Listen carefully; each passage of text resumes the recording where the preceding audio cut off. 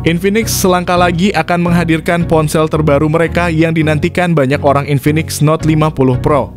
Ponsel ini dijanjikan memiliki spesifikasi dewa dengan harga yang tetap terjangkau, menjadikannya salah satu pilihan menarik di pasar smartphone. Dengan peluncuran ini, Infinix Note 50 Pro diharapkan menjadi pesaing serius bagi Redmi Note 14 series yang juga akan segera hadir secara resmi di Indonesia. Setelah sukses dengan peluncuran Infinix Note 40 Pro di Indonesia, kini Infinix dikabarkan tengah mempersiapkan kejutan baru, yakni Infinix Note 50 Pro. Ponsel ini dirancang sebagai penerus yang tidak hanya mengikuti jejak pendahulunya tetapi juga melebihi ekspektasi dengan penawaran yang lebih canggih. Bagi kalian yang baru saja membeli Infinix Note 40 Pro mungkin akan sedikit merasa menyesal. Pasalnya Infinix Note 50 Pro tidak hanya dijanjikan dengan harga yang lebih terjangkau, tetapi juga membawa sejumlah peningkatan signifikan yang pastinya akan membuat versi terbarunya ini lebih menarik dan bernilai tinggi di pasar. Infinix telah resmi mengumumkan kedatangan seri terbaru mereka Infinix Note 40 di pasar Indonesia. Peluncuran ini menandai langkah signifikan bagi Infinix dalam memperluas portofolionya di negara Indonesia. Rumor tersebut mengabarkan tentang persiapan peluncuran Infinix Note 50 Pro yang siap hadir di panggung global. Menurut informasi yang bersumber dari berita di India dan beberapa portal gadget terkemuka, Infinix Global berencana untuk merilis smartphone ini dalam waktu dekat. Lebih lanjut kabar yang beredar menyatakan bahwa Infinix Note 50 Pro akan sepenuhnya beroperasi pada jaringan 5G tanpa adanya varian 4G. Keputusan Infinix untuk melangkah ke teknologi 5G khususnya melalui peluncuran Infinix Note 50 Pro mencerminkan komitmen merek ini dalam menawarkan teknologi terkini dan terdepan kepada konsumennya. Ini merupakan sinyal jelas bahwa Infinix tidak hanya berfokus pada pengembangan dan inovasi produk tetapi juga secara aktif mengikuti perkembangan teknologi dan kebutuhan pasar. Informasi lebih lanjut tentang spesifikasi harga dan ketersediaan Infinix Note 50 Pro masih dinantikan namun satu hal yang pasti. Kehadiran Infinix di segmen 5G menandakan era baru bagi merek ini dalam persaingan pasar global. Untuk kalian yang telah membeli seri Infinix Note 40 mungkin akan merasa sedikit kecewa karena ternyata seri Infinix Note 50 Pro akan ditawarkan dengan harga yang serupa dengan pendahulunya yaitu sekitar 3 jutaan saja. Adapun untuk model dasarnya Infinix Note 50 reguler kemungkinan akan ditawarkan dengan harga sekitar 2 jutaan saja. Untuk memberikan wawasan lebih mendalam saya akan menguraikan informasi terkini seputar spesifikasi dan harga Infinix Note 50 Pro. Infinix Note 50 Pro menarik perhatian dengan desain yang elegan dan premium menampilkan tiga kamera belakang yang tersusun secara unik berbeda dari merek lain. Material kaca pada bagian belakang menambah kesan mewah sedangkan kerangka samping yang terbuat dari plastik menciptakan kontras yang estetis sekaligus meningkatkan durabilitas. Desain yang ramping dengan ketebalan hanya 8 mm membuat ponsel ini tampak modern serta bobotnya yang hanya 180 gram membuatnya nyaman untuk digenggam dan dibawa ke mana saja. Material belakang yang berkilau menambahkan nuansa premium dan sertifikasi IP53 menawarkan perlindungan terhadap air dan debu. Menggabungkan keamanan dengan gaya tanpa kompromi bobot ringan dan bingkai tipis ponsel ini juga mendukung kenyamanan ergonomis. Berfokus pada layar Infinix Note 50 Pro dilengkapi dengan layar AMOLED melengkung 6,67 inci, sementara varian Note 50 reguler pakai layar AMOLED flat.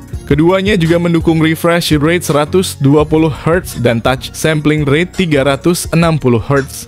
Dengan kecerahan puncak hingga 1500 nits layar ini menjamin visibilitas yang luar biasa di berbagai kondisi pencahayaan. Perlindungan tambahan datang dari Gorilla Glass 5 menambah durabilitas tanpa mengorbankan estetika. Fitur Wideviner L1 dan HDR10 Plus meningkatkan pengalaman multimedia, memungkinkan pengguna untuk menikmati konten berkualitas tinggi dengan jangkauan warna yang lebih luas dan dinamis. Dalam perangkat mobile modern, salah satu komponen kritikal yang menentukan kinerja adalah chipset Infinix Note 50 Pro dalam konteks ini memilih untuk tetap setia dengan MediaTek Dimensity 8050 yang dibangun dengan proses fabrikasi 6 nanometer. Ini jelas merupakan lonjakan signifikan mengingat bahkan model puncak Infinix Note 40 Pro Plus hanya dibekali dengan chipset Dimensity 7050. Namun Infinix telah memutuskan untuk mengambil langkah berani dengan menghadirkan Dimensity 8050 ke pasar.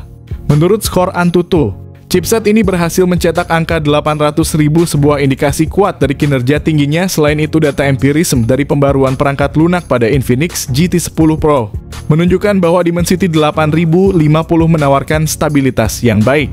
Dengan demikian, meskipun mungkin ada aspek di mana chipset ini kalah dalam perbandingan langsung dengan pesaingnya, Dimensity 8050 masih merupakan pilihan yang solid yang berkontribusi pada profil kompetitif Infinix Note 50 Pro. Selain itu, kehadiran RAM sebesar 8 GB atau yang paling tinggi 12 GB dan internal storage sebesar 256 GB pada Infinix Note 50 Pro memungkinkan untuk menjalankan banyak aplikasi secara bersamaan tanpa mengalami penurunan performa. Sistem operasi yang digunakan oleh ponsel ini adalah Android 14 yang dipadukan dengan antarmuka XOS terbaru yaitu XOS 14. Sayangnya perangkat ini hanya mendapatkan dua kali pembaruan OS Android dan pembaruan keamanan hanya berlangsung selama tiga tahun saja. Dalam dunia fotografi, smartphone resolusi kamera sering menjadi salah satu parameter utama yang diperhatikan konsumen. Dalam kasus Infinix Note 50 Pro, ponsel ini menawarkan kamera utama 200 megapiksel dengan optical image stabilization, ultra wide dan lensa makro serta selfie kamera ada 32 megapiksel. Ini menempatkan Infinix Note 50 Pro sejajar dengan Redmi Note 13 Pro yang juga menampilkan kamera utama 200 megapiksel mengindikasikan ambisi kuat dari Infinix untuk bersaing di segmen ini. Sangat jelas bahwa Infinix berambisi untuk tidak kalah dari Xiaomi dalam segmen kamera, menampilkan kamera utama dengan resolusi tinggi kedua perangkat ini akan bersaing ketat untuk mendominasi segmen ini. Pengalaman fotografi yang luar biasa juga didukung oleh fitur konektivitas canggih seperti teknologi 5G Bluetooth 5.3 dual speaker stereo dari JBL. Slot memory card koneksi NFC vapor cooling chamber di bagian belakang dan fingerprint di dalam layar. Baterai berkapasitas tinggi sebesar 5000 mAh dengan fast charging kemungkinan 100 watt dan wireless charging 25 watt yang akan memberikan daya tahan yang luar biasa sehingga perangkat dapat diisi daya dengan cepat. Untuk pengisi daya yang cepat tampaknya tidak akan ada peningkatan yang signifikan sebagaimana yang terjadi pada prosesornya. Infinix Note 50 Pro hadir dengan harga yang terjangkau namun menawarkan spesifikasi dan fitur sebanding dengan ponsel pintar premium lainnya di pasaran. Dengan harga yang lebih terjangkau kalian dapat memiliki ponsel pintar yang canggih tanpa harus mengeluarkan biaya yang terlalu tinggi. Dalam konteks ini informasi terbaru mengenai Infinix Note 50 Pro yang menurut rumor akan dijual dengan harga awal 3 jutaan hingga 4 jutaan untuk varian tertinggi. Merupakan indikasi kuat dari strategi Infinix untuk menawarkan perangkat berkinerja tinggi dengan harga yang kompetitif. Infinix Note 50 Pro dengan segala kemewahan dan fitur canggihnya jika ditawarkan dengan harga yang sangat terjangkau sekitar 3 jutaan pastinya akan mengguncang pasar smartphone. Keberadaannya di harga tersebut bukan hanya memberikan pilihan menarik bagi konsumen, tetapi juga menimbulkan tantangan serius bagi para pesaingnya seperti Xiaomi, Realme, dan Samsung. Dengan nilai yang ditawarkan di harga tersebut, Infinix tidak hanya bersaing tetapi berpotensi menang telak atas kompetitor lainnya, mengubah peta persaingan di pasar smartphone kelas menengah. Ini menunjukkan bahwa Infinix serius dalam menawarkan produk berkualitas dengan harga yang sangat kompetitif.